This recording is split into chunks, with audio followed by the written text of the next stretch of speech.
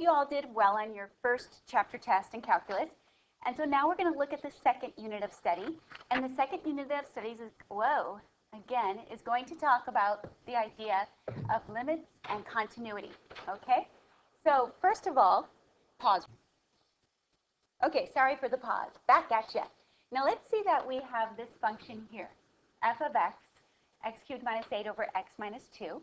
And we want to see what happens to this graph as we approach the x value of 2.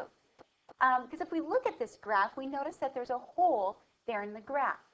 Now, we could just calculate the values here. So, for example, if I input some values less than 2, so you see here's my values less than 2, and I get closer and closer to 2, I should be able to make an approximation. So if I put this in my calculator to 10, oh, four decimals, seriously? But I would get 10.5625. Now I want you to look for a pattern. 1.9 would be 11.41. 1.99 would be 11.9401. And 1.999 would be 11.994. So what number do you notice I am, I am approaching as the x value approaches 2 from the left? Now, if I come from the right, if I put 2.25, I have 13.5625. Me minimize this. 2.1 would be 12.61. 2.01 would be 12.0601. And then 2.001 would be 12.006.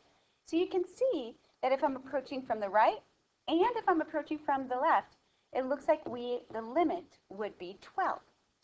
So it should be obvious that as x gets closer and closer to 2, the value of f of x becomes closer and closer to the value 12. So we say that the limit of f of x as x approaches 2 is 12. And this is written, do you remember this? The limit as x approaches 2 of f of x is equal to 12. Or the limit of the actual function as x approaches 2 is equal to 12. Now, the informal definition of limit is what is happening to y as x gets closer to a certain number. Um, in order for a limit to exist, we must approach the same y value as we approach some value c, from either the left or the right. Now, we would say the limit does not exist if we are not approaching the same number from the left and the right.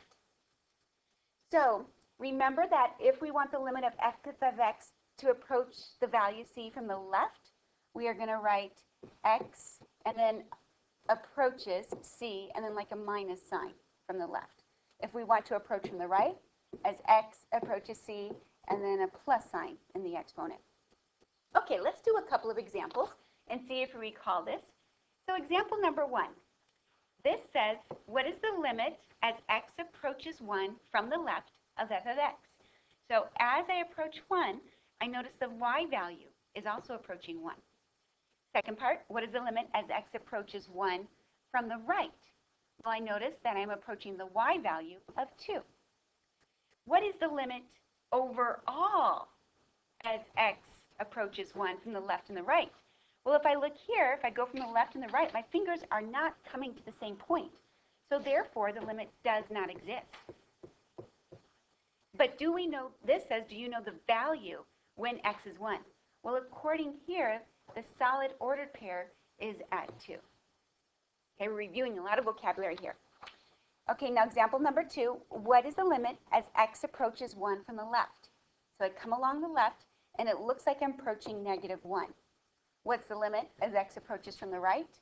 I am approaching positive 1. Now, since I'm approaching different numbers from the left and the right, the limit does not exist at 1. However, is there a value at 1? Yes, and it's not either negative 1 or 1. Can you believe it? It's 0. Okay, um, let's do just two more, and then I'll let you do your practice problems. So the next page, and I'm going to scroll down. Now, if you would like to look at this page more in depth, I have uploaded this document into, um, your, um, into our website under Documents. Okay, let's look at example six. So example six says that as I approach two from the left, huh, what's going on there? That's interesting.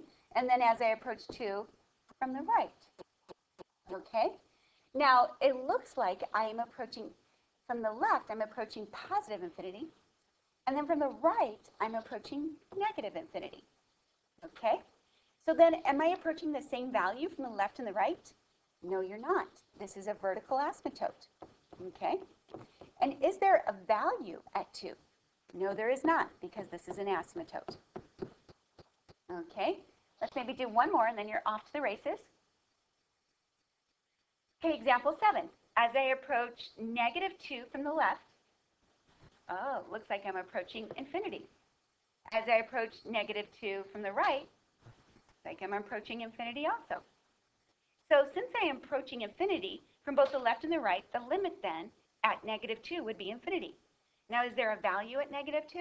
No, that is a vertical asymptote. So the value does not exist. Okay? Now that's all for tonight. So you do the problems 1 through 12 on the worksheet that was given out in class. If you do lo lose it, it is uploaded under documents on the website. That's it, folks.